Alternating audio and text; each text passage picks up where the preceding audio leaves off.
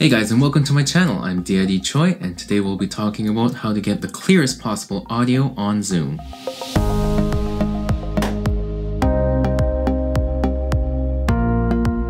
So whether you're a musician having a performance through Zoom or a teacher giving a lecture, especially in these COVID times, a lot of people are going to need better audio. Now, because many people want that better audio, they're going to be going around buying mics. It might be a USB mic or some kind of mic that you plug in through your computer's headphone jack, or you might go all out and get a professional microphone with an audio interface and everything. But you might still be sounding a little staticky through Zoom. I know a lot of musicians giving lessons have had trouble because they couldn't hear certain notes that their students were playing because the Zoom's noise suppression was cutting out stuff. To combat this, there's a couple easy steps you can follow through Zoom, and with that you'll have crystal clear audio. So let's take a look. So we're going to begin by opening up Zoom. And you could do this within the meeting settings, but because I'm not going to open a new meeting, I'm just going to go into the settings, and then we're going to go into vid audio, obviously. I almost said video. We're going to go into audio. Uh, make sure to test your speakers. So right now, I will be using this mic right in front of me for Zoom. If I test the speaker,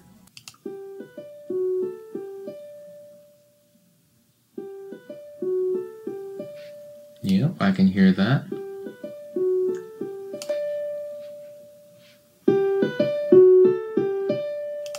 Beautiful.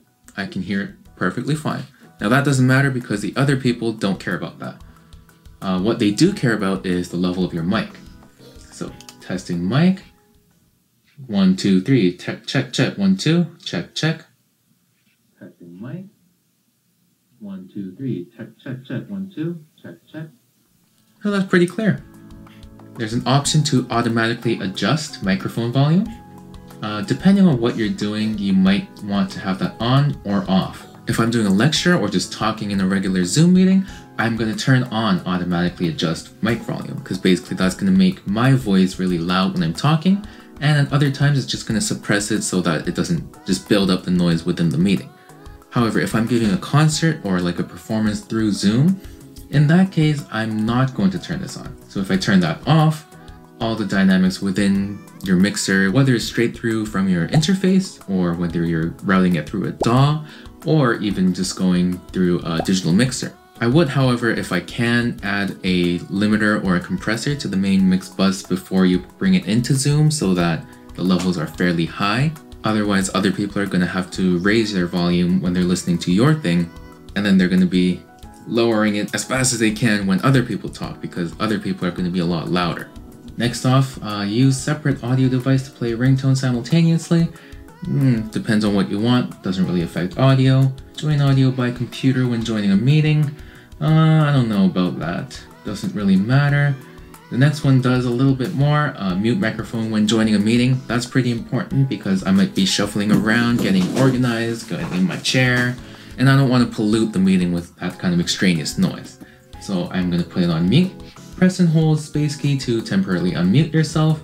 That is also preference. Uh, a lot of time in meetings, uh, they ask you to do this so that all the extraneous noise isn't coming through, but this only applies when you have yourself on mute.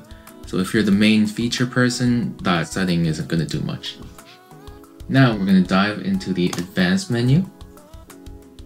Alright, here's the first thing. Show in-meeting option to enable original sound from microphone. This is very important. Uh, once you're inside a meeting, there's going to be a setting at the top left. Uh, I'll show you that in a bit. And that setting is basically going to disable all of Zoom's settings. Instead of processing your sound, it's just going to make it go straight through uh, RAW. Uh, this stuff also matters, although if you have this switched on, it shouldn't. But just in case, suppress persistent background noise. When you're using your computer's built-in mic or your phone mic, there's going to be inherent background noise because honestly, they suck. They just do. They suck. But when you're using a audio interface or some kind of external mic, those are a lot better in quality. So, uh, because you don't want it to be suppressing things that you don't want it to be suppressing, for example, maybe you're talking and then suddenly it just cuts out a little bit of stuff. You don't want that, I'm going to disable it. It's probably on auto as default. Intermittent background noise is very similar. It's just going to be kind of little like chair cracks, I have a pretty noisy chair. Or things that Zoom decide are not part of your voice or the main feature. But then if you're playing an instrument or something, Zoom might try to cancel that out. So also disable. So echo cancellation is basically if I was using just my computer for Zoom, I have the speakers on so I can hear what other people are saying, but I'm also talking. So the speakers are playing sounds of other people while I'm talking, and now the mic is picking that up, and then you can go feedback. Everyone has experienced feedback before at something, right? A school event, a church service. Feedback sucks. Please don't have feedback. Save us from feedback, please.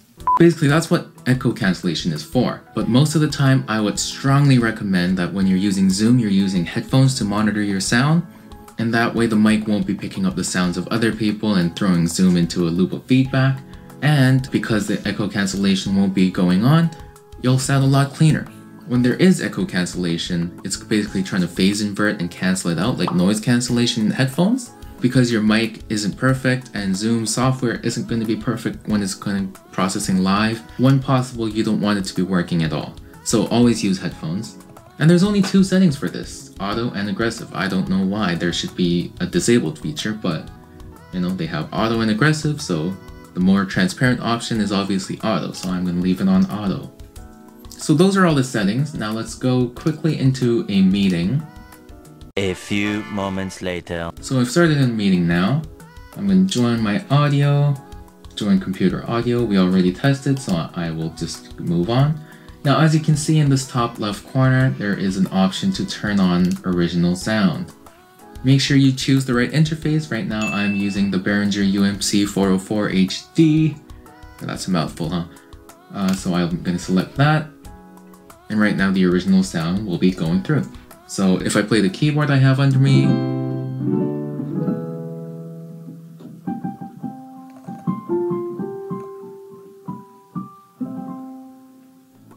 the people on the other end will hear my keyboard. When I talk into this mic, people will hear me on the other end and it'll be loud and clear.